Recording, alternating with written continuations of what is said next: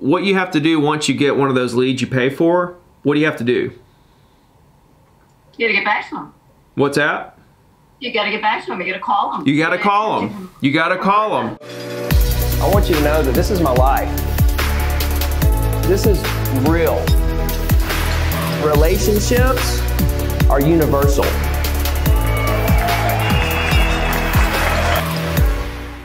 So many agents will not do the prospecting or the cold calling, or you know where they say like, "Oh, I'm too good for that."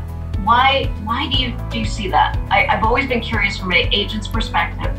Why you think that is so? Well, I think two things. I think I think the very first thing, the very first thing on top of everything, and they won't admit it, but they're just scared to make the calls, right?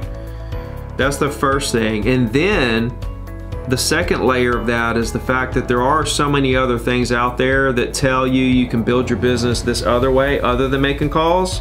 And so they're using that as an excuse to cover up the fact that they're scared to make calls. You know, and so there's all these things out there that gives you plenty of excuses not to make calls, you know, and they're taking them, they're eating them up. You know, they're just, you know, give me that, give me this, whatever. I just don't want to make calls.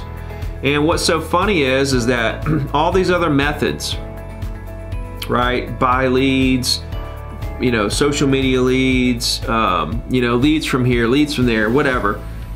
All that is doing, what, I mean, what you have to do once you get one of those leads you pay for, what do you have to do? You gotta get back to them. What's that?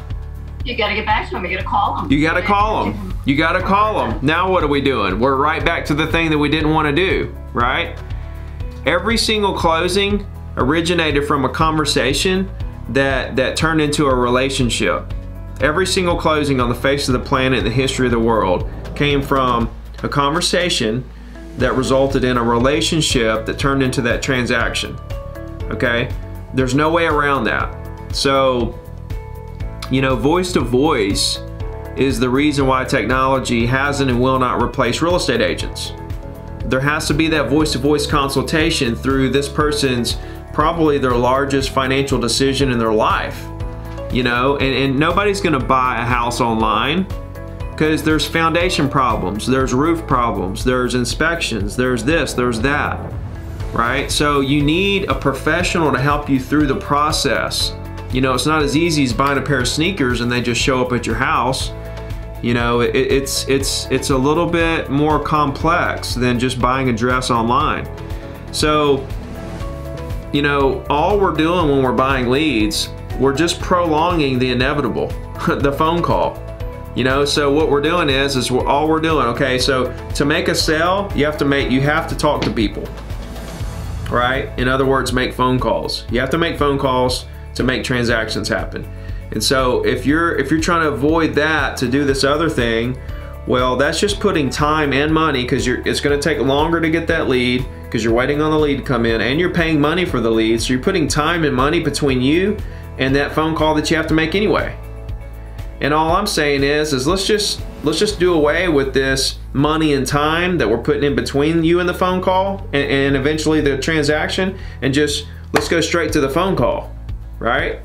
And so that's the way I look at it is that people, there's so much of this where agents are putting time and money in between them and what they inevitably have to do anyway.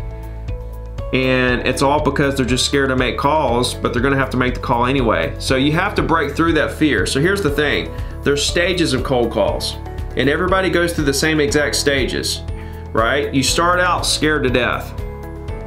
Everybody does. I did, everybody that's made phone calls, everybody, right? So if I started out scared to death, then why shouldn't you have to go through that same thing?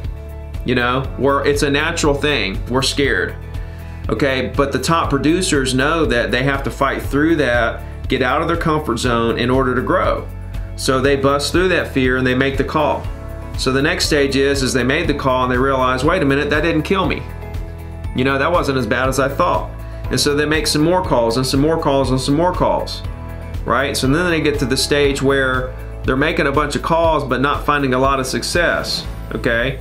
So now they go to the next stage, which is, okay, now let's learn what to say.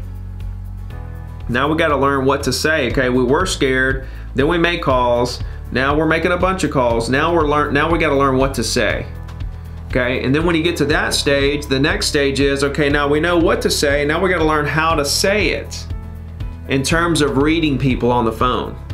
Right? That's the next level is is you know, when I'm making calls, when when they answer the phone, I can tell by the tone of their voice right there how that call is going to go most of the time. You know, I'm, I'm, I'm probably like a 90% chance that I know exactly how this call is going to go because once you've made so many calls, you realize there's only a couple outcomes. You know, they're nice, they're mad, they hang up on you, they give you their email, they want to do a deal, they don't want to do a deal, they already have an agent they work with. There's only a handful of different outcomes that's going to happen in this phone call.